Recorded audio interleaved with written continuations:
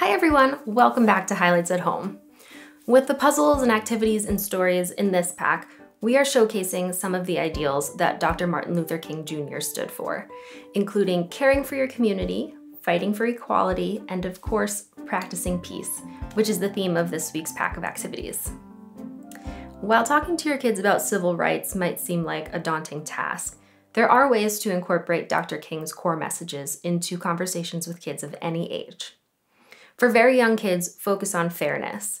Make sure they understand that every person should be treated with respect and kindness, and that the only way to really get to know someone is to spend time with them and talk to them.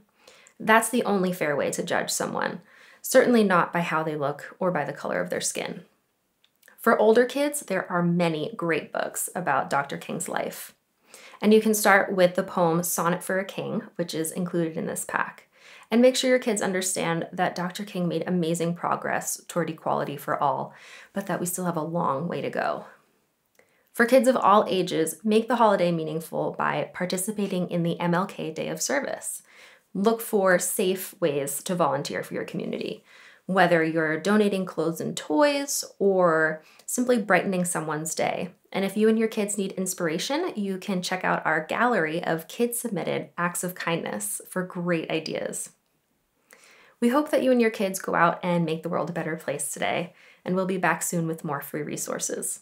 Take care.